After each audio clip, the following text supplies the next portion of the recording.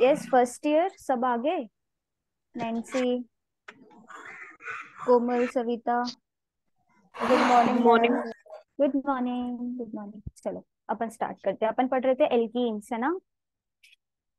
अब मुझे जल्दी से बता दो मार्कोनिकॉव्स रूल क्या होता है? और किसके लिए होता है? मैं जिससे पूछूँगी वो बताएगा। मुझे बताएगा कौन बताएगा? सविता सविता बताएगी। मार्कोनिकॉव्स रूल क्या होता है? हम्म। मार्को मार्कोविकॉन्स रूल वो हाइड्रोजन हैलाइड एडिशन। हम्म। और कार्बन अटैक करते हैं अनसिमेट्रिकल कार्बन पर। अनसिमेट्रिकल कार्बन एटम पे कौन अटैक करता है? Hydrogen halide. Hydrogen atom positive part attack करता है ठीक है? यस। यस। और नैन्सी ये मार्कोनिकॉव्स रूल किसके लिए होता है? सिमेट्रिकल अनसिमेट्रिकल अनसिमेट्रिकल अनसिमेट्रिकल के लिए। गौरव क्या इसके एक्सेप्शंस हैं? कभी कभी होने के बाद भी क्या मार्कोनिकॉव्स रूल फॉलो होता है? अनसिमेट्रिकल है कार्बन स्केलेटन ठीक है फिर भी क्या मार्कोनिकॉव्स रूल फॉलो होता है?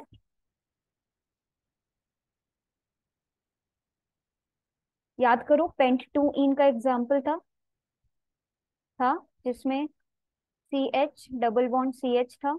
यहाँ पेंट टू इन नहीं था, दूसरा एग्ज़ाम्पल था। यहाँ पे तीन कार्बन थे और यहाँ पे दो कार्बन थे। इट वॉज़ अनसिमेट्रिकल बट यहाँ पे दोनों डबल बॉन्ड इस कुछ स्ट्रक्चर में प्रेजेंट थी। तो क्या यहाँ पे मार्कोनिकॉव रूल फॉलो हो रहा था? कि ये उसका एक्सेप्शन था। यस एल्कीन की मिक्सचर ऑफ़ प्रोडक्ट फॉर्म हो रही थी इसमें मिक्सचर ऑफ़ प्रोडक्ट्स बन रहे थे और यहाँ पे मार्कोनिकॉव रूल फॉलो नहीं हो रहा था। ठीक है? तो अब हमें क्या पढ़ना है? अब हमें पढ़ना है आज रीअरेंजमेंट परऑक्साइड इफ़ेक्ट और बाकी चीज़ें। सो so, देखो रीअरेंजमेंट में क्या होता है? कभी कभी मान लो सेकेंडरी कार्बोकेटाइन है तो वो स्टेबिलिटी के लिए अपने आप को रीअरेंज करता है इस कुछ तरीके से कि वो टर्शरी कार्बोकेटाइन में कन्वर्ट हो जाए, क्योंकि सेकेंडरी से ज़्यादा टर्शरी स्टेबल होता है। And this conversion is known as rearrangement ठीक है? सो रीअरेंजमेंट एक कैरेक्टरिस्टिक रिएक्शन है कार्बोकेटाइन की, जिसमें कार्बोकेटाइन फॉर्म होता है in an addition reaction of a hydrogen halide ठीक है? हाइड्रोजन हेलाइट की अनसिमेट्रिकल एल्कीन में जब एडिशन होती है तो रीअरेंजमेंट होता है, जिसको हम एल्किल शिफ्ट भी कहते हैं to form a more stable carbocation for example H का एडिशन हो रहा है यहाँ पर three three dimethyl one butene में तो दो प्रोडक्ट्स मिल रहे हैं, ठीक है? एक प्रोडक्ट ये मिल रहा है, एक प्रोडक्ट ये मिल रहा है। और ऐसा क्यों हो रहा है? देखो, यहाँ पर हाइड्रोजन आइटम अटैच हो गया यहाँ जाके, क्योंकि positive part goes to that carbon atom that has more hydrogen ठीक है? तो यहाँ आके अटैच हो गया तो एक ये वाला स्ट्रक्चर मिला। तो ये जब यहाँ ऐड हुआ तो यहाँ पे पॉजिटिव चार्ज आया और ये बना सेकेंडरी कार्बोकेटाइन यस सेकेंडरी है ये क्योंकि इससे दो कार्बन आइटम्स जुड़े हैं। यस मैम यस ठीक है अब ये लेस स्टेबल है तो क्या होगा? मिथाइल शिफ्ट होगी। तो ये मिथाइल यहाँ शिफ्ट हो जाता है और ये वाला चार्ज यहाँ शिफ्ट हो जाता है जिसके कारण टर्शरी कार्बोकेटाइन बन जाता है मतलब वो कार्बन जिससे तीन कार्बन जुड़े हैं तो ये मोस्ट स्टेबल है, ठीक है? तो ये कन्वर्ट हुआ टर्शरी में। अब हम देखते हैं प्रोडक्ट। तो यहाँ तो पहले हाइड्रोजन का ऐड हो गया, अब ब्रोमीन जब आके ऐड होगा तो ब्रोमीन ऐड होगा कहाँ? अभी ये शिफ्ट नहीं हुआ है, ठीक है? ये अभी मैं इस रिएक्शन की बात कर रही हूँ कि सेकेंडरी कार्बोकेटाइन का प्रोडक्ट क्या बनेगा। तो हाइड्रोजन तो यहाँ ऐड हो गया, अब ब्रोमीन का ऐड होगा, यहाँ ब्रोमीन ऐड होगा। तो ये बनेगा first second, two bromo, three three dimethyl butane one, two, three, four, okay? Now tertiary carbocation का प्रोडक्ट क्या बनेगा? ब्रोमीन अटैच होगा ये इधर जाके, इस वाले पे, ठीक है? जब इस पे अटैच होगा तो क्या बनेगा? One, two, three, two bromo, two, three dimethyl dimethyl butane ठीक है? So this is a more stable product so rearrangement समझ आया कि क्या हो रहा था क्यों हो रहा था? Yes ma'am yes now peroxide effect ठीक है? तो ये मार्कोनिकोव रूल का एंटी है। एंटी है मतलब अगर परऑक्साइड होता है ना तो मार्कोनिकोव रूल फॉलो नहीं होता है। ठीक है? सो so, इसलिए इसको हम कभी कभी एंटी मार्कोनिकोव रूल या एडिशन कहते हैं। परऑक्साइड इज़ दिस ठीक है तो जब भी कोई मॉलिक्यूल में ऐसी लिंकेज होती है डबल ओ वाली तो परऑक्साइड वाला इफ़ेक्ट आ जाता है। सो व्हाट हैपेंस इज़ अगर परऑक्साइड नहीं है तो तो मार्कोनिकोव रूल का फॉलो होगा। तो एडिशन प्रोडक्ट कौन सा बनेगा? ये वाला हाइड्रोजन यहाँ चला जाएगा, क्योंकि ज़्यादा हाइड्रोजन है इस वाले में। और ब्रोमीन कहाँ चला जाएगा? यहाँ चला जाएगा तो ये प्रोडक्ट बट अगर परऑक्साइड है तो इसका एंटी मार्कोनिकॉफ हो जाएगा मतलब इसका जो मार्कोनिकॉफ रूल है इसका ऑपोजिट होगा। सो so, ऑपोजिट होगा तो क्या होगा? हु विल टेल मी कहाँ क्या जाएगा? क्या होगा? जहाँ पर कम नंबर ऑफ़ हाइड्रोजन है वहाँ पर ब्रोमीन चला जाएगा और जहाँ पे नहीं नहीं वहाँ पे हाइड्रोजन चला जाएगा। यस yes, वहाँ हाइड्रोजन चला जाएगा। तो यहाँ एच टू चला जाएगा और बी आर कहाँ चला जाएगा? यहाँ चला जाएगा। सो so, परऑक्साइड के प्रेजेंस में एंटी मार्कोनिकॉफ प्रोडक्ट बनता है। ठीक है? और ये जो चीज़ दी थी पर ऑक्साइड इफ़ेक्ट जिसको हम कहते हैं, वो दी थी खराश एंड मायो ने। तो इसलिए हम परऑक्साइड इफ़ेक्ट को कभी कभी खराश इफ़ेक्ट भी कहते हैं।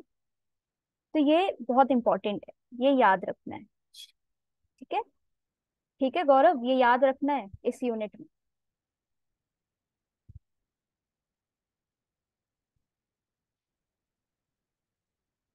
ठीक है।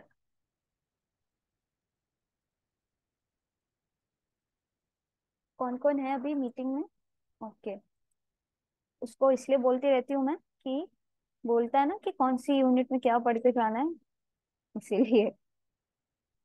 Okay Nancy and all Nancy Komal and Savita. ये छोड़ना नहीं है peroxide effect yes so peroxide effect का जो रिएक्शन इंटरमीडिएट है ये फ्री रेडिकल के फॉर्म में प्रोसीड होती है रिएक्शन तो दिस इज़ आर देखो आर सी ओ ओ। ये लिंकेज है यहाँ पर। और होल टू ठीक है? सीओ टू का होल टू तो ये फ्री रेडिकल बना। टू आर सीओ टू का फ्री रेडिकल बना। फिर यहाँ पर भी एक आर फ्री रेडिकल बनता है। सीओ टू रिलीज़ हो जाएगा अपना इलेक्ट्रॉन पेयर लेके। और ये जो आर फ्री रेडिकल है, वो एच बी आर के साथ रिएक्ट करेगा और बनाएगा एल्केन या हाइड्रोकार्बन और ये ब्रोमीन फ्री रेडिकल रिलीज़ हो जाए। अब ये जो ब्रोमीन फ्री रेडिकल रिलीज़ हुआ है, ये रिएक्ट करेगा इसके साथ प्रोपीन के साथ। प्रोपीन के साथ रिएक्ट करेगा तो डिपेंड करेगा कि ब्रोमीन कहाँ ऐड हो रहा है। अगर ब्रोमीन ऐड हो रहा है कहाँ पर? यहाँ पर। तो it is anti Markovnikov and अगर ब्रोमीन ऐड हो रहा है यहाँ पे तो इट इज़ मार्कोनिकोव ठीक है। तो यहाँ पर स्टेबल नॉन स्टेबल की बात आ जाती है। अगर ब्रोमीन यहाँ पर है तो इट इज़ लेस स्टेबल क्योंकि प्राइमरी फ्री रेडिकल बन रहा है और अगर ब्रोमीन ऐड होता है कहाँ यहाँ पर तो इट इज़ मोर स्टेबल क्योंकि जो फ्री रेडिकल है वो सेकेंडरी फ्री रेडिकल है तो सेकेंडरी ज़्यादा स्टेबल होता है ओके okay? समझ आया peroxide yes effect or ma'am. rearrangement yes Yes, yes now hydration so hydration is what hydration means addition of a water molecule yes, addition of a water molecule is hydration. तो यहाँ कैसे होगा? H plus ये भी Markovnikov rule को follow करता है okay बच्चों? क्योंकि जहाँ जहाँ पॉजिटिव पार्ट या एडेंडम आ जाता है the positive part will go to that part जहाँ पे ज़्यादा हाइड्रो वो हाइड्रोजन आइटम है। तो ये तो सिमेट्रिकल है तो यहाँ पे आप किसी को भी एच दे दो ओ एच दे दो, है ना? फिर आता है, अगर अनसिमेट्रिकल एल्कीन है। अनसिमेट्रिकल है तो एच यहाँ चला जाएगा ओ एच यहाँ चला जाएगा। तो हमें क्या मिल रहा है? One two three two propanol numbering इधर से करोगे वन टू थ्री तो भी सेकेंड नंबर पे ही ओ OH आएगा। यस अभिषेक पानी पी लो? Mute your mic. Okay. So now uh, butene butene and two butene. Okay so अगर ये दोनों हैं तो यहाँ पर कैटलिस्ट की प्रेजेंस में और एसिड की प्रेजेंस में क्या प्रोडक्ट बनेगा? हाइड्रोजन एटम अगर ये वाला प्रोडक्ट है तो यहाँ चला जाएगा हाइड्रोजन और ओ OH यहाँ चला जाएगा। So product will be two butanol और अगर यहाँ है तो यहाँ पर तो कुछ भी नहीं हो सकता है यहाँ पे। किसी को भी H दे दो किसी को भी ओ OH दे दो क्योंकि ये सिमेट्रिकल एल्कीन वाली बात आ जाती है। है ना? समझ आ रहा है? यस यस सो so, इसका मैकेनिज्म क्या है? ये रिएक्शन जैसे मैंने बोला हाइड्रेशन मार्कोनिकॉव्स रूल को फॉलो करती है। तो इसका मैकेनिज्म इज़ कि जो भी अनसिमेट्रिकल एल्कीन है उस पे सबसे पहले H प्लस अटैक करता है या इसको हम कहते हैं प्रोटोनेशन फ़र्स्ट स्टेप ऑफ़ ये इसका मैकेनिज्म बहुत इंपॉर्टेंट है। ठीक है? ये मार्कोनिकॉव्स रूल का मैकेनिज्म है और ये आता ही आता है। तो first step is protonation protonation means proton यहाँ पर आके ऐड होगा, अटैक करेगा आई मीन तो प्रोटॉन अटैक करेगा यहाँ पर, ठीक है? तो प्रोटॉन जब यहाँ अटैक करेगा तो क्या होगा? ये वाला जो कार्बन आइटम है, ये डेफिशिएंट हो जाएगा और इस डेफिशिएंसी के कारण जब दूसरा वाटर मॉलिक्यूल क्योंकि ये हाइड्रेशन है रिएक्शन तो हाइड्रोजन वाटर मॉलिक्यूल जब आके ऐड होगा तो कहाँ ऐड होगा? ये ब्रेक ऐसे होता है ना ओ एच और एच तो ये पूरा मॉलिक्यूल आके लोन पेयर है ना इसके पास तो ये वही अटैक करेगा, ये न्यूक्लियोफाइल है तो ये न्यूक्लियोफाइल कहाँ अटैक करेगा? इलेक्ट्रोफाइल पे। तो ये आके यहाँ अटैच हो जाएगा, इस वाले जहाँ पे पॉजिटिव है। और जब ये यहाँ अटैच होगा, उसके बाद यहाँ से हाइड्रोजन एटम निकल जाएगा, और जब निकलेगा तो सिर्फ़ ओ OH बचेगा। तो ये जो हमारा मेजर प्रोडक्ट है, बनेगा three four five and six okay इसकी नॉमेनक्लेचर क्या होगी? क्या होगी नॉमेनक्लेचर बन जाएगी ना नॉमेनक्लेचर नाम देते हुए इसका। यस मैम यस क्या होगा तो बताओ।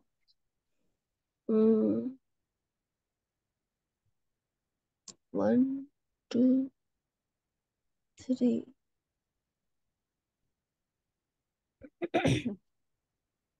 four four dimethyl, pent two ol, ठीक है? तो इसका नॉमेनक्लेचर होगा ये, और mechanism is this one because carbocation इसमें इन्वॉल्व है है ना? ये कार्बोकेटाइन इन्वॉल्व है तो यहाँ रीअरेंजमेंट पॉसिबल है, क्योंकि हमने ऊपर ही पढ़ा कि रीअरेंजमेंट होता है और इसलिए होता है कि अगर सेकेंडरी कार्बोकेटाइन है तो वो टर्शियरी में कन्वर्ट होना चाहेगा स्टेबिलिटी के लिए। तो रीअरेंजमेंट पॉसिबल है, जिसके कारण मोर स्टेबल कार्बोकेटाइन बनता है। तो मान लो ये अभी सेकेंडरी कार्बोकेटाइन है, यहाँ पर क्या होगा मिथाइल शिफ्ट होगी, ये वाला मिथाइल यहाँ चला जाएगा, और एच जो पॉजिटिव चार्ज है वो इस एटम पे आ जाएगा कार्बन के तो ये जो कार्बोकेटाइन बनेगा वो टर्शरी होगा। तो this is more stable okay और यहाँ पर वाटर का हाइड्रे मतलब उसके बाद हाइड्रेशन होगा, और हाइड्रेशन के बाद ओ OH यहाँ आ जाएगा। ठीक है समझ आई हाइड्रेशन और मैकेनिज्म मार्कोनिकॉफ्स रूल का?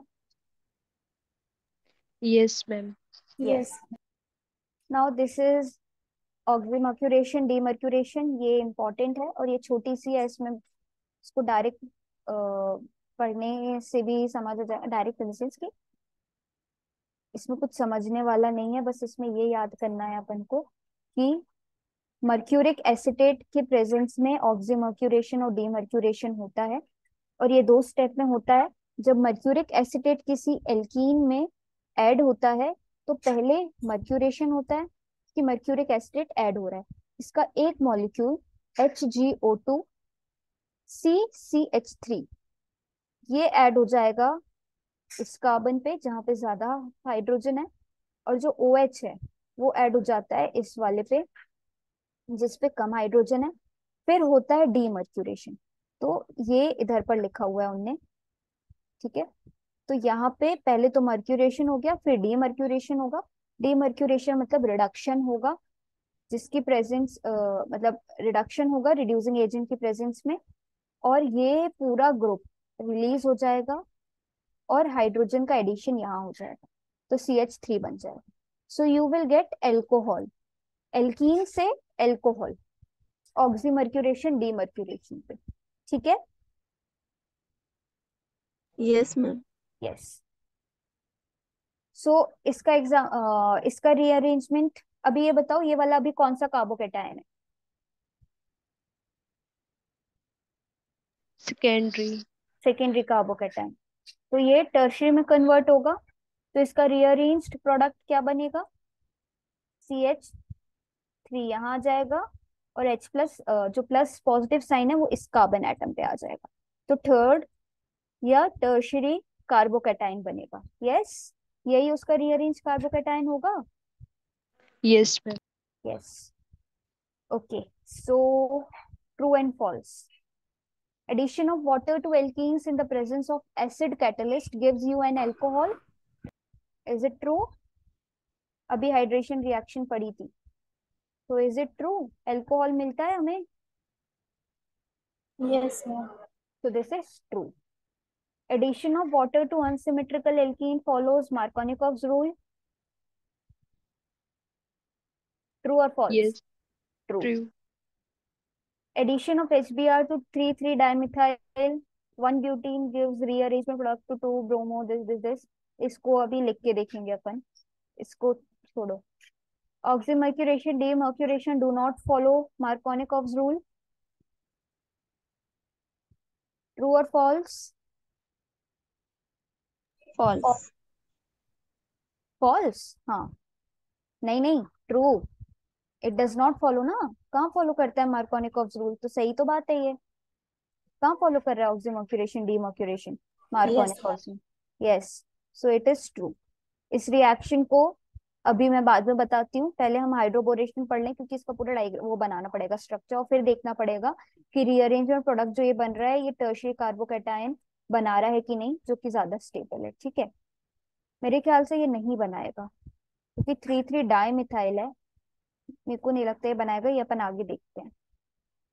हाइड्रोबोरेशन सो हाइड्रोबोरेशन मीन्स जो बोरोन हाइड्रेट है, इसका बी एच टू मॉलिक्यूल जब ऐड होता है किसी एल्किन में या अनसेचुरेटेड कंपाउंड में that reaction is hydroboration so when alkene reacts with borane this is borane addition to the carbon carbon double bond takes place to yield an organoborane why organoborane क्योंकि carbon और borane के बीच में bonding है. So this bonding is organo या जो product बन रहा है दैट इज़ ऑर्गेनो बोरेन ठीक है?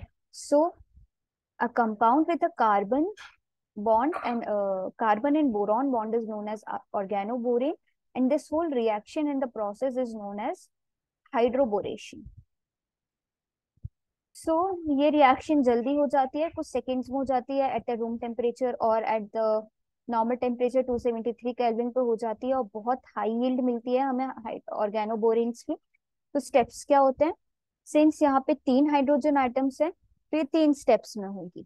तो सबसे पहले BH2 मॉलिक्यूल एक है, एक ऐड हो जाता है इसमें तो क्या बचता है? एक BH2 बचता है और एक हाइड्रोजन फिर ये जो प्रोडक्ट बना है, ये फिर से एल्कीन के साथ रिएक्ट करेगा। एल्कीन के साथ रिएक्ट करने पे ये डबल हो जाएँगे, क्योंकि दो कार्बन में दो कार्बन आइटम और जुड़ रहे हैं। This whole wise means four carbon items यहाँ से एक हाइड्रोजन रिलीज़ हो गया। और ये प्रोडक्ट बना जो कि इंटरमीडिएट है this again will react with the alkene फिर एक हाइड्रोजन माइनस हो जाएगा और जो प्रोडक्ट मिलेगा, वो आपका फाइनल प्रोडक्ट होगा। और this hydroboration reaction is described as anti Markovnikov's addition जैसे कि peroxide effect is anti Markovnikov's addition वैसे ही हाइड्रोबोरेशन भी। ठीक है? Hydroboration reaction is described as anti Markovnikov's addition but this is not true ये ट्रू नहीं है, अब क्यों ट्रू नहीं है, देखते हैं अपन। क्या होता है बी एच टू और जो हाइड्रोजन की बॉन्डिंग होती है ना, उसमें हाइड्रोजन पे नेगेटिव चार्ज आ जाता है। हाइड्रोजन की कोई स्टेट नहीं है पीरियोडिक टेबल में भी मतलब पोजीशन नहीं है कि वो पॉजिटिव कभी कभी पॉजिटिव कभी कभी नेगेटिव कैसे भी अपने आप को मॉलिक्यूल के साथ वो चेंज कर लेता है। तो बोरेन में हाइड्रोजन नेगेटिव की तरह बिहेव करता है और बोरेन पे आ जाता है पॉजिटिव तो मार्कोनिकोव्स रूल क्या कहता है? क्या कहता है नैन्सी मार्कोनिकोव्स रूल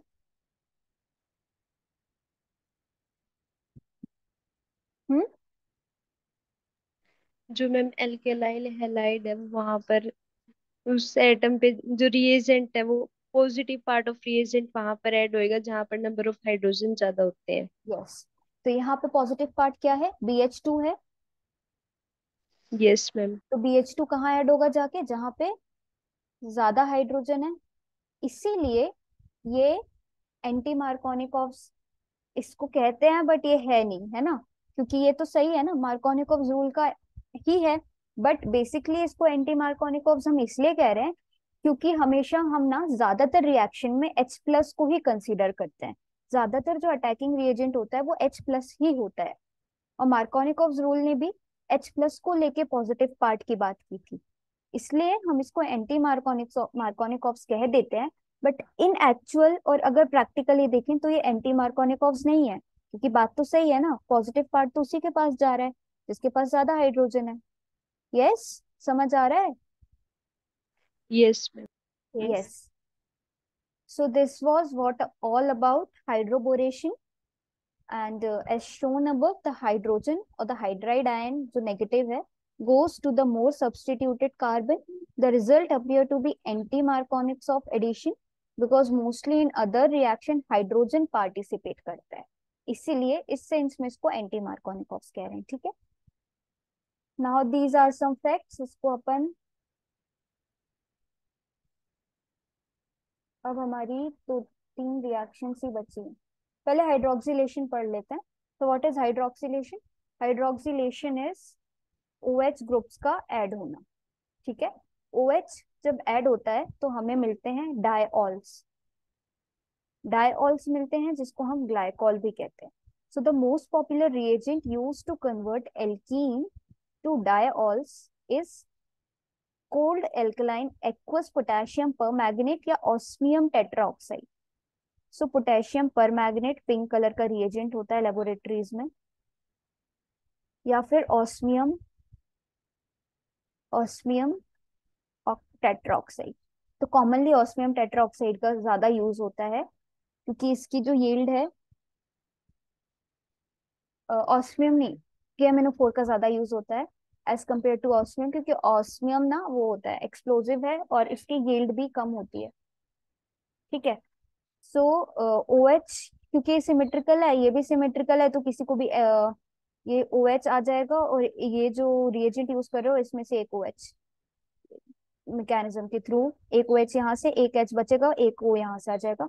तो ओ एच यहाँ से और यहाँ पर ओ OH दोनों ऐड हो जाएँगे तो डायोल डायोल्स बनेंगे। दिस इज़ हाइड्रोक्सिलेशन ठीक है? फिर हमारा बहुत इंपॉर्टेंट रिएक्शन है ओजोनोलिसिस ये बहुत इंपॉर्टेंट है, और ये आता है एग्ज़ाम्स में। और एक ही रिएक्शन बची है ओजोनोलिसिस और हाइड्रोबोरेशन के कुछ पॉइंट्स तो इसको अपन कल करेंगे और कल की क्लास में कुछ क्वेश्चंस करेंगे। ठीक है? एल्कीन्स वन के और एल्कीन्स टू दोनों यूनिट के कुछ क्वेश्चंस करेंगे। And I will ask you oral test ठीक है? तो ये दोनों हमारी यूनिट खत्म हो जाएँगी मतलब थर्ड यूनिट भी खत्म हो जाएगी। Then we have to study alkynes and aromaticity ये तो बहुत ही छोटा है। दो क्लास में ही खत्म हो जाएगा एल्काइंस बहुत छोटा यूनिट है। और फिर एरोमेटिसिटी इसके बाद कौन सी यूनिट्स बचेंगी? नैन्सी आप लोगों की या कौन से ब्लॉक्स बचेंगे? फंक्शनल ग्रुप तो सेकेंड ईयर को है। दोनों मैंने अभी उनसे पूछा। तो कौन सा बचेगा आपका? बता रही हूँ मैम रुको एक मिनट। हम्म। स्टीरियोकेमिस्ट्री के भी बचेंगे हाँ। स्टीरियोकेमिस्ट्री तो बचेगी वो उसके अलावा इसके और स्टीरियोकेमिस्ट्री के अलावा।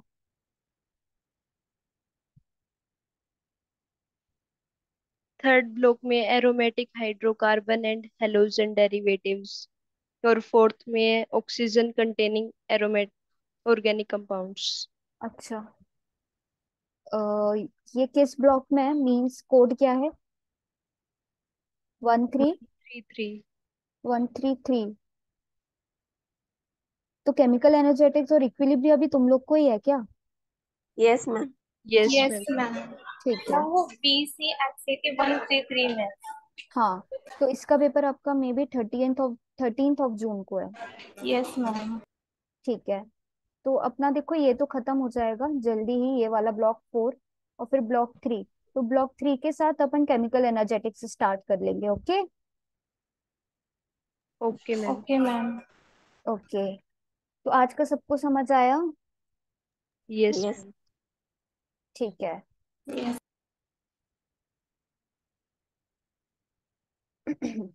मंतशा आपकी आज पहली क्लास थी? जी मैम। अच्छा फ़र्स्ट ईयर के हो? जी। फ़र्स्ट ईयर के हो? नहीं थर्ड ईयर थर्ड ईयर ये फ़र्स्ट ईयर की क्लास थी बच्चे? जूलॉजी की है ना ये? नहीं केमिस्ट्री की क्लास थी। ओके ठीक है। ओके से फ़र्स्ट ईयर अपन शाम को मिलते हैं। कितने बजे? साढ़े आठ बजे। ठीक है? मैम। ये मतलब बॉटनी का बताया हुआ है 141 और मैंने उसी लिंक पे क्लिक किया है बट ये केमिस्ट्री क्लास चल रही है। कैसे हो सकता है? बच्चे तो फ़र्स्ट ईयर के ज्वाइन कर रहे हैं आपने कैसे जूलॉजी समझ के केमिस्ट्री में आ गए? हम्म? आठ बजे थी सुबह। Maths botany class third year की। थर्ड ईयर की क्लास देखो नैन्सी बता रही है आठ बजे से थी मंतशा। ठीक है ठीक है। Okay okay so thank you Nancy Komal bye ma'am okay ma'am thank you okay